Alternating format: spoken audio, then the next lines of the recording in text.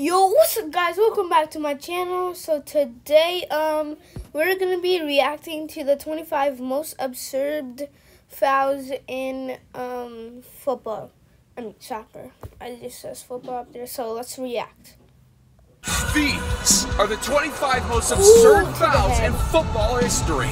And first, the foul that was committed by one of the nicest Yeah, guys in football. nice. It was a matchup between He is a nice person though, but yeah.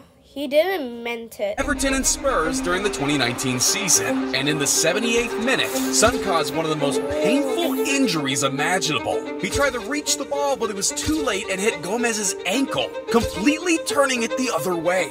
Players started to panic, and like, fans that watched it up close were shocked. Son received a red card and was but I know absolutely heartbroken. Obviously, that foul was unintentional, but the top three had some crazy revenge moments that are a lot more brutal. But first, an amateur player from this tiny country almost chopped off Goretzka's head. It was in the group stage of the World Cup 2022 qualifiers, Germany versus Liechtenstein, and only eight minutes into the game. Oh A, uh, high God, challenge there. Yeah, this random guy for an amateur club in Switzerland almost broke the jaw of one of Bayern's best midfielders of all time. I'm glad Oh, Germany butchered them 9-0. Dude should go back to playing in his crappy little stadium and leave the pros to it. But even they can lose control sometimes. Because what Francesco Totti did to Mario Balotelli didn't only send him off, it also got him a four-match ban. Four-match It was the 2010 Coppa Italia final, Ooh, Rome versus Inter. A then 19-year-old Super Mario was dominating the Italian fields and driving opponents crazy. Right. So 1-0 down with a trophy at stake and less than three minutes left to play. Totti lost it. cerca di guadagnare il fondo, prova a passare in mezzo a tre, messo giù, punizione, cartellino in mano e up ammonizione per Totti, Red. che è espulso, in mezzo a due lui passa, Red. Ah! Bruh, even the fireman was like, what the f-? And the crazy thing is, Totti later admitted it was intentional and he wanted to hurt Balotelli for insulting him for years. And I guess De Jong held a grudge against Xabi Alonso for some reason. Oh man, that kung fu Oh. kick never gets old. Crazy to think that he only got a yellow for it, which can't be said about Okay, Sergio Aguero. Because after a 1-3 beating in his own stadium, he went leg first and flew straight through David Luiz. The horror tackle got Aguero a four-match ban, and Luiz later claimed to have suffered two years from the reckless challenge. I mean, two years, that is just way too much because, like, that two years is a long break. Damn, I feel bad for him. But luckily, he's good. But that's not even the worst foul ever committed on a Chelsea player. Because John Terry almost died on the pitch. The Blues and Oh, Arsenal went head to head in the 2007 Oh, League Cup final. wait. With the game tied up and only a few minutes on the clock, Chelsea was given a corner and Terry They haven't cleared it all. Oh, oh. Kick to the face. Oh, come on. We don't want to see this. We don't want to see this. Oh, Diaby wanted to clear the His goal, nose, and Terry tried heading it in. Not the best idea. He swallowed his tongue, couldn't breathe, and had to be treated on the field. Oh, the entire damn. stadium was That's straight up a- speechless. Mourinho thought he lost his captain, and Diaby was praying right next to him. Luckily, should he fully like, recovered, but the kick to his face was so hard he doesn't remember anything from the incident. But everyone remembers this ridiculous tackle on Messi. This ain't no NFL. I guess some players tend to forget that.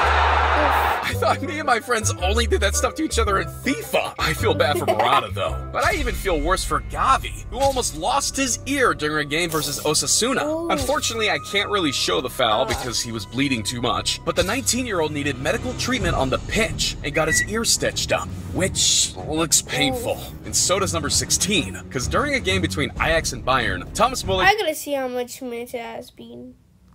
Four minutes? Alright. tried recreating the Karate Kid. As he was stretching Kid. his leg to reach a long ball, he hit Nico karate, Tagliafico straight in the head with his studs, requiring the Argentinian left back to continue the rest of the game with staples in his head to stop the- the, bleeding. Mueller watched the rest like, of the game from the dressing from, room like, and got a two-game ban Like- for his sickening foul. I But would that's be nothing compared to Kevin Muscat's me, I tackle would that got him banned for eight weeks. See. Getting past Brebner. Muscat, he's off again. A The second graphic's straight red but card for Kevin it's Muscat, like- and he didn't even see a second yellow. It's a straight red. The up and under, he's gone Yup. way over the ball. That is dangerous for Muscat. And Adrian Zahra was definitely hurt. He Oof. needed surgery on his knee and wouldn't play football for a whole year. Many Australians even claimed the incident tarnished his career, which was almost the case for Aaron Ramsey as well. February 27th, 2010, Stoke City versus Arsenal. The build up to this match was really intense because both managers made it very obvious they hated each other. But nobody expected that day to turn into a horror scene when Ryan Shawcross went Oh in ruthlessly God, the- and snapped Ramsey's leg into shin right now. pieces. One player stated, I heard the crack of Ramsey's leg from the Wait, bench. hear that. When Ryan Shawcross went in ruthlessly and snapped Ramsey's leg into pieces, one player stated, I heard the crack of Ramsey's leg from the bench. I heard the screaming. Shawcross was immediately sent off and got a three match ban. The entire bro. Arsenal staff was concerned that the 19-year-old would never play professional football again. But luckily, he made a comeback nine months later and played seven more seasons for the Gunners. And let's just say that karma came around for Shawcross, because after he'd stated that the injury he caused Ramsey never affected him, he found himself in a familiar situation in 2019. Chasing the ball back, gets a challenge, and oh, oh! Ooh. He broke his own calf bone and was ruled out for Oh my- four yeah, months. like- and at number 12, this That's player from. Honduras didn't injure one, but two players at the same time. Vamos a ver qué pasó con André Orellana. Bro, you're not. You're not playing in the NFL. Pero esto no solo es para I know Rojo. you're Es like, inconcebible que un futbolista pueda hacer esto. seriously, Extraño, It's ser muy profesional. Luckily, he got grow sent off. And so was Trigueros. This heavy challenge oh. on Barcelona captain Lionel Messi meant that Trigueros was shown a oh, straight Oh, yeah. red card. Dude almost broke the goat's ankle. Now I understand why he has his legs insured for $750 million. Damn. And with that, we've made it to the top 10. to So only the most brutal fouls from here. Just wait until we get to the top three. Starting off with this vicious kick to the face. Oh Dude clearly my aimed for his head. And God. Paulista aimed for Vinicius' ankles. No wonder he was banned for two games. games? But this dude Oh, yeah, should be banned from the Sunday League. Like And at number seven, we got another dude trying to smash Messi's ankle. At least Lopez later denied intentionally stomping on it. Otherwise, he would have been in trouble for sure. And talking about trouble, Oh, but uh, No, that's the no, challenge. No, no, no, Certainly no, late. no. Well, that's straight up It's reckless. He should be banned for like that seven games. outrageous foul on Diaby's ankle resulted in three different surgeries and an eight month recovery period. But he never really got over it because the French midfielder eventually spent 1,747 What? days off the pitch, which is almost five years, making him the record holder for having missed more playtime than any other football player in the world. Someone who walked a similar path is Jesse Rodriguez, because the kid who was once considered the next Cristiano Ronaldo got his career completely ruined in 2014. As he ran toward the corner flag, he got hit by Kolasinac, who then fell onto his Oh. knee. Looking at his face, it was obvious things were serious. His oh. anterior cruciate ligament was torn to pieces, and he was sidelined for nine months. After that, he was never the same again and transferred to one club to the other. Now plays for Los Palmas in the second Spanish league. But at least he wasn't as close to having his foot amputated. Cisse. Trying to brush off McEveley. Down they both go. Now, at first, it doesn't look like much happened, but if you look at the replay from this angle, ah, that's just Yeah. painful to watch. He broke his leg and was on the sidelines for 10 months, but things could have played out a whole lot worse, according to his doctor. Your blood circulation at your foot was irrigated. After 30 minutes to an hour, it would have to be amputated. Oh And with that, we made it to the top three of the dirtiest fouls in football history. For number three, we gotta go back to the 14th of October 2006. Reading versus Chelsea. After only right. 20 seconds played, Peter Cech was hit in the face by Stephen Hunt, shit. resulting in one of the most horrific moments in football. The goalie injured his skull, couldn't play for two months, and wore his iconic headband for the rest of his career. That's Obviously, why. Hunt was devastated that he caused an injury so severe, but at number two, Zlatan Oh, was out for one's so revenge. Together with Juventus, he went up against Inter, and all he wanted was to find the net. But all Marco Materazzi wanted was to kick him out of the game.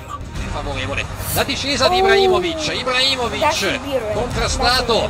Zlatan was struggling to walk after that, but he wasn't going to go without a fight. He had to get his revenge. But he never got it that game. Because his manager subbed him off in case he would do something stupid. But Zlatan never forgot about that moment and wanted his payback. So when they came face to face again a couple years later, Ibra knew what he had to do. But Come Marco on. beat him to it.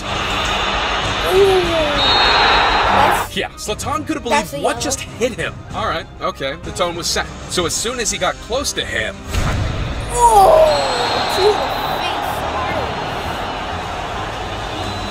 face. oh my god! That kick to the chest, an elbow to the face, put Marco in the hospital. Dude, I got shit.